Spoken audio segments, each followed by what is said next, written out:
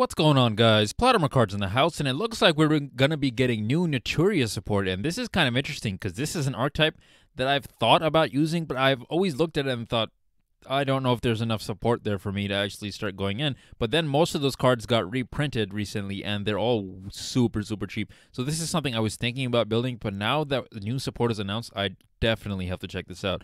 So let's go ahead and look at this. So it is a level, okay, one for one target right off the bat. But okay, Naturia Mole Cricket. So it's level one Earth Insect Effect monster with zero attack and zero defense. Okay, Piri Reis map target as well. Interesting. You can only use the first and second effect of this card's name each once per turn. All right. During the main phase, quick effect, you contribute this card, special summon one Naturia monster from your deck. Okay, that's a great searcher. That is a great searcher. Uh, if your opponent controls a face-up monster monsters with the highest attack on the field, you can special summon two instead. This is a great going second card as well. How about that? This is great. That's insane. Secondly, if your opponent special summon a monster monsters from the extra deck, or you special summon a Naturia monster monsters from the extra deck, while this card is in your graveyard, you can special summon this card. That's crazy. So this actually could be a Foolish Burial target as well. This is a target for for so many things. That's crazy. This is a great card. This is 100%. It don't matter what archetype this if this effect or similar effect to it was in any archetype, I would automatically say this is a great card and I 100% think this is 10 out of 10 card. Um, next we got Naturia Camellia. Okay, it's level 4 plant. Okay, so we got a tuner. Nice.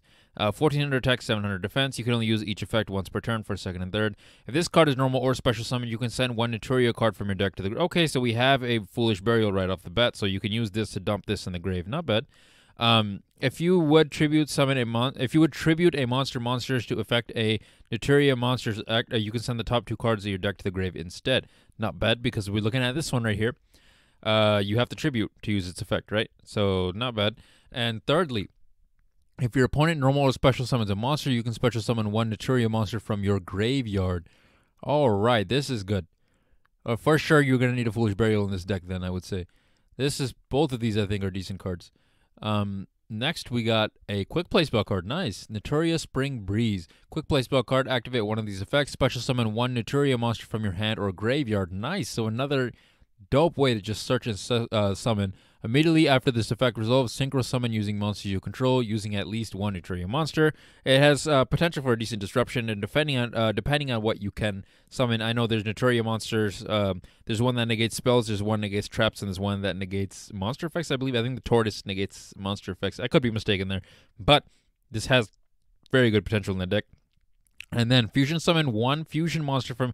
Okay, so it's a fusion card as well using monsters you control as fusion material, but it has to be monsters you control. So maybe you would use that for fusion, but I'm I'm betting more on poly for that just because it's you know you can do it from your hand. However, the other two effects are so good, you probably want to run three of these as well. Um, yes, uh, so all three of these cards I think are really really good. But anyways, guys.